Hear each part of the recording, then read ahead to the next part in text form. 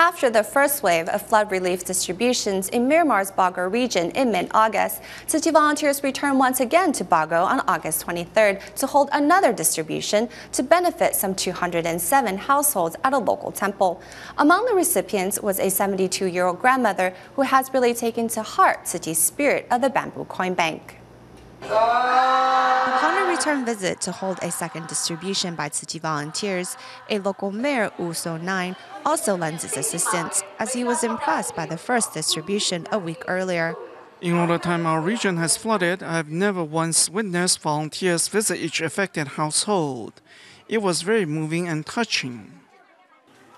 One of the flood survivors volunteers visited was 72-year-old Dottie Timar. After your visit, I was extremely happy. I told my daughter Chi came to visit me and shared with me how I can help the less fortunate by donating rice or money in my bamboo bank.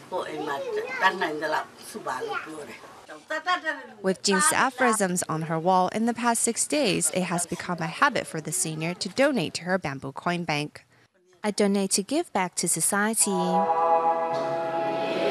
Wanting to get to know Tzu better, the former stroke patient, who is also a devoted Muslim, walked 20 minutes to the distribution venue, which is at a local temple.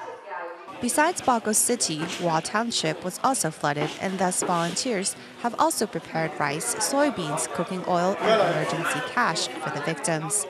TIMA members have also tagged along to make sure flood survivors are in good health.